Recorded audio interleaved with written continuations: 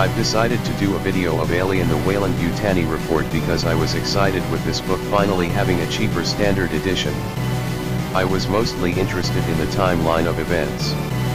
Something caught my attention in this book. As for what caught my attention, bear with me on this one.